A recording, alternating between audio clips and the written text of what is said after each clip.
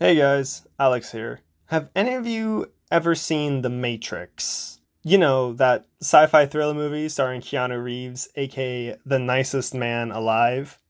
Yeah, me neither. But I absolutely love that green hackery tech stuff that everyone sort of associates with the movie. So rather than simply sit down and watch it like any normal person would, I've decided to implement that stuff myself in Rust using the Piston Window library.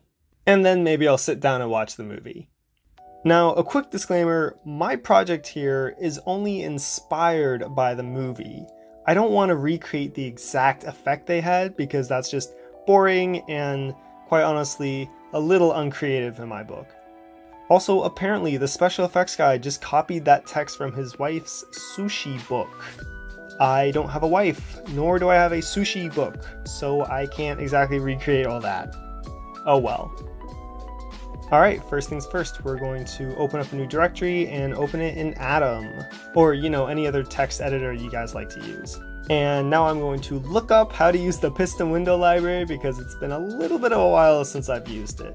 We're going to go ahead and copy this code here and then make it a little more my style.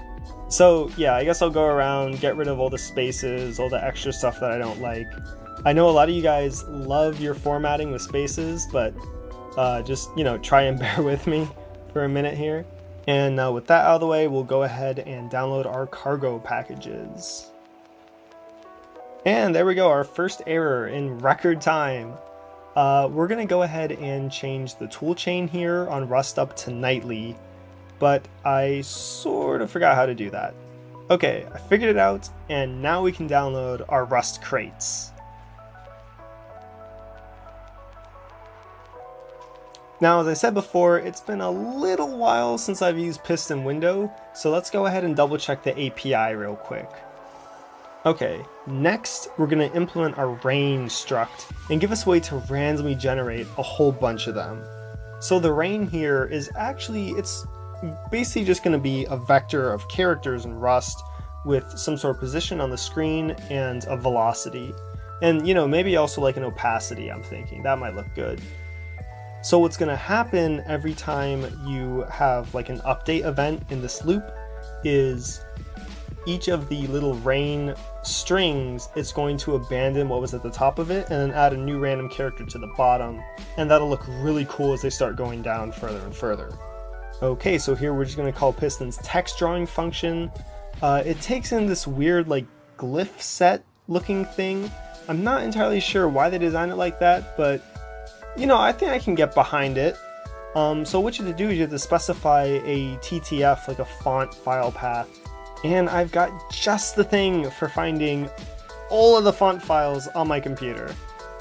Okay, and with that, we're to debug it a little more, and we've got a black window. That's progress.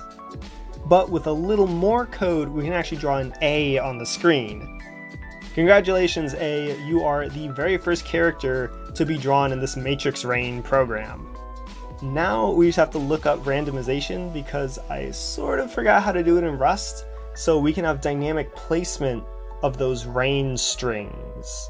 They don't move yet because we haven't implemented that, but it's looking better and better as we keep going on.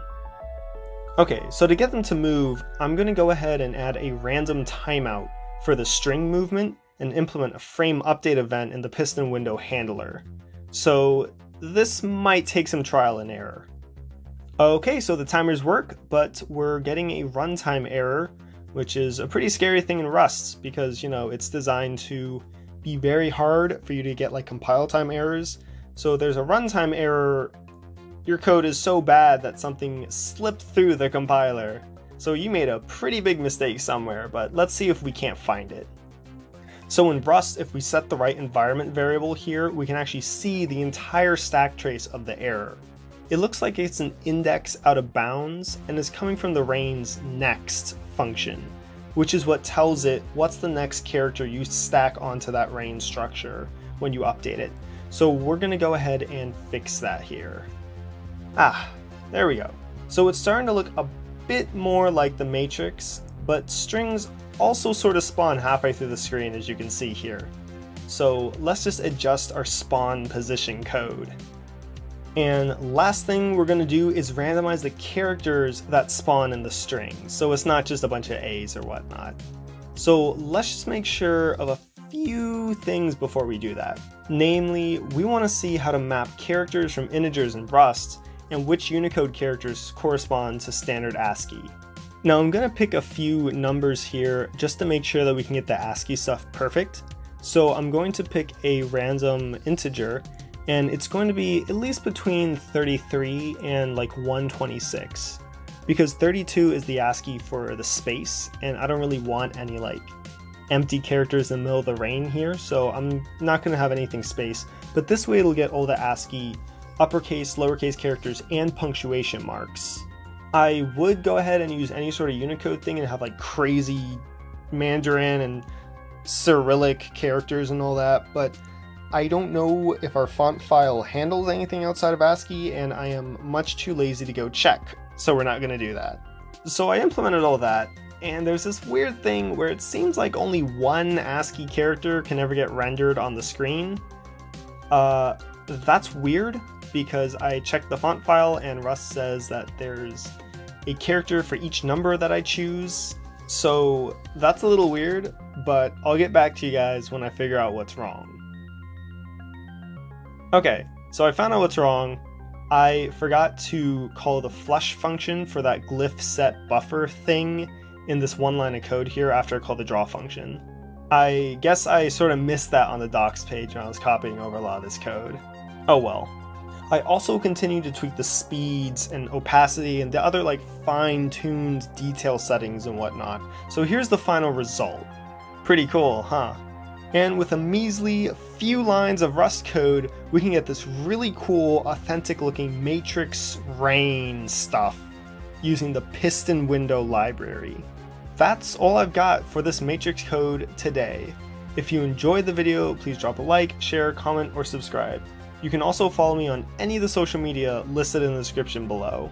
I have all the code from this project on my GitHub in the description, so you can all check it out if you want to dissect it or maybe, you know, change the colors, recreate it however you see fit.